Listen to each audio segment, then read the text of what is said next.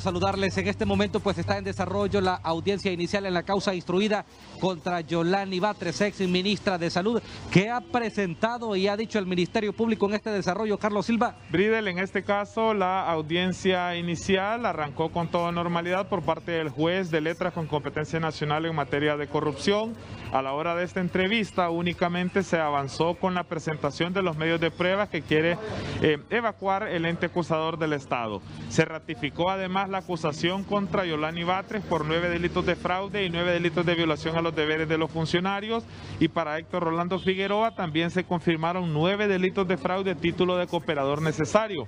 En tal sentido, lo que indica el requerimiento fiscal es que mediante nueve contratos, el Estado a través de la Secretaría de Salud en el año 2014, cuando su titular era la doctora Yolani Batres, se pagaron 7.885.450 lempiras para la creación de un software que serviría en la Secretaría de Salud. Aparentemente esto habría sido sobrevalorado en un 90% y uno de estos programas ni siquiera habría sido entregado a la Secretaría de Salud.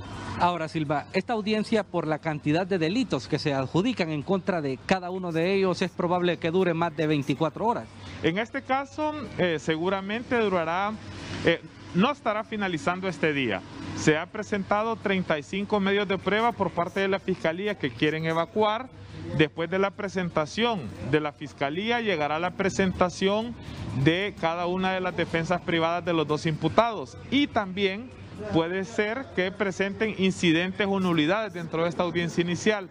Después tiene que ver una resolución por parte del juez de letras de corrupción para saber cuáles son los medios de prueba admitidos, después evacuarlos y después la etapa de las conclusiones. ¿Hay más personas involucradas en este caso? Sí, en este caso hay cinco personas más incluidas en el requerimiento fiscal. Ellas ya finalizaron la audiencia inicial y se les dictó auto de formal procesamiento hace varias semanas.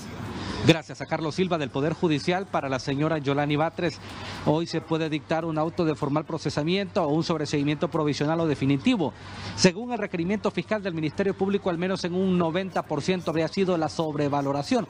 Dinero supuesto desviado a través de la compra que se hizo en esta adquisición de un sistema digital por parte de la Secretaría de Salud cuando ella fue la titular. Desde los tribunales en materia de corrupción, qué gusto saludarles. Buen día.